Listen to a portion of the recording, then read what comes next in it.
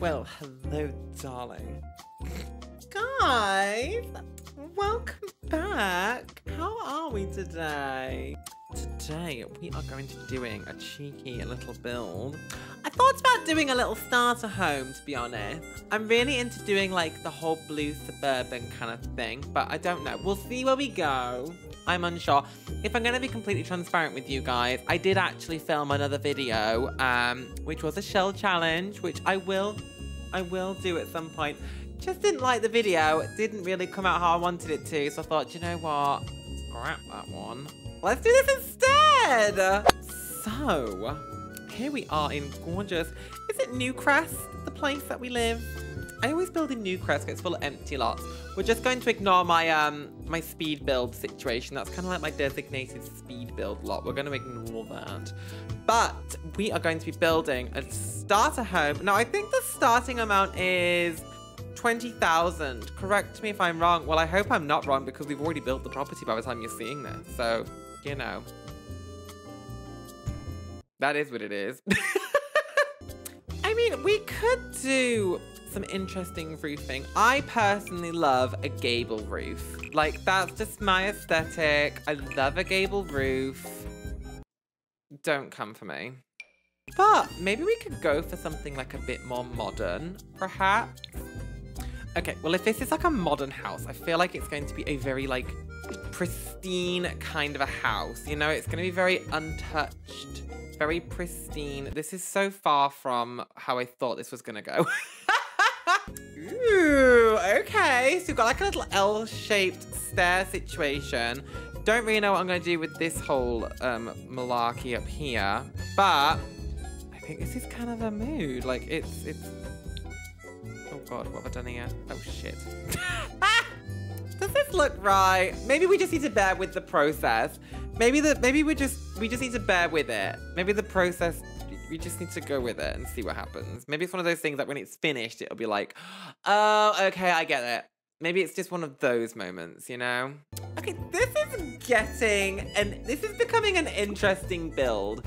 I don't know where we're going with it, but it something's happening, okay? So downstairs, there's gonna be a kitchen area and a living room. And I think upstairs we'll have a toilet somewhere. Oh god, guys, where's the toilet gonna go? Please tell me somebody here remembers The Sims. Was it The Sims 2? The Sims 2 Ikea, I'm sure it was called. Oh my god, that was a pack. With starter homes, I do like to have like plenty of um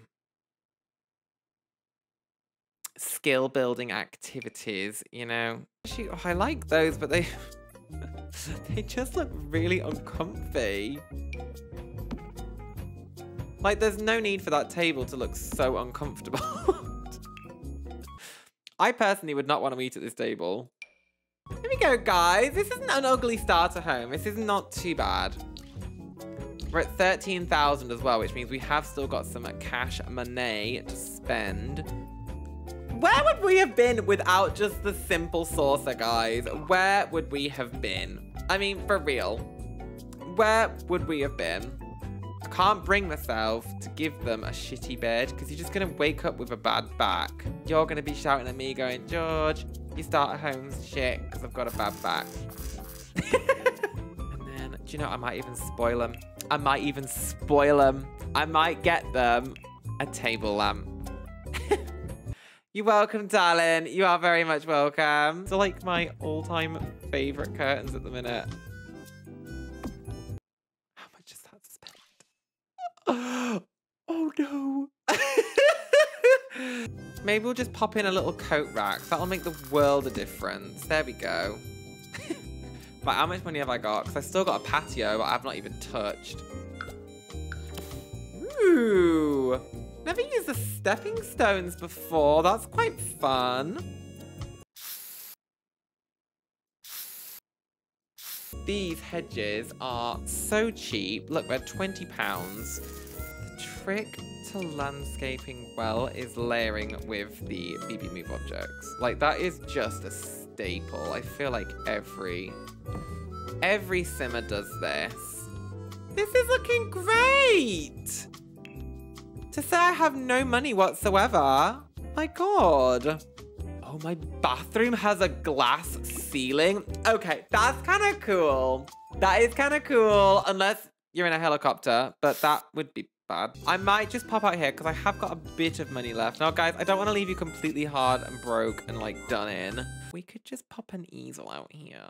Like just a little one. Hey, this one's only 350.